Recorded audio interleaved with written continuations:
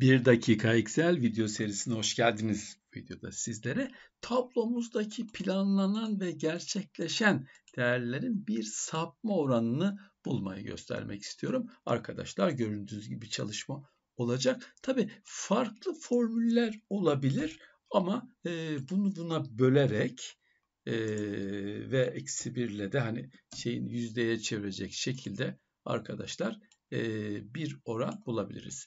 Buradaki e, formatımız yüzde formatı arkadaşlar. Görmüş olduğunuz gibi bunu yaptık. Örneğin hiçbir sapma olmamış. %10 artmış, %10 e, gerçekleşen görmüş olduğunuz %10 e, azalmış, %10 sapma olmuş anlamında eksi.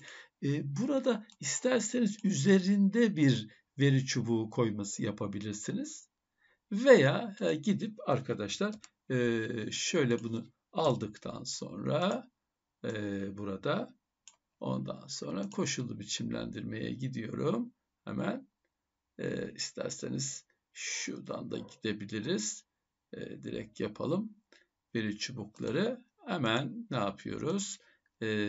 Buradan veri, yalnızca veri çubuğunu göster şeklinde yapıyoruz. Görmüş olduğunuz gibi arkadaşlar e, buradaki planlanan ve gerçekleşen değerlerin sapma oranlarını ve yanında da onun veri çubuğunu en çok e, negatif sapmanın, pozitif sapmanın burada olduğunu e, görmüş olduk.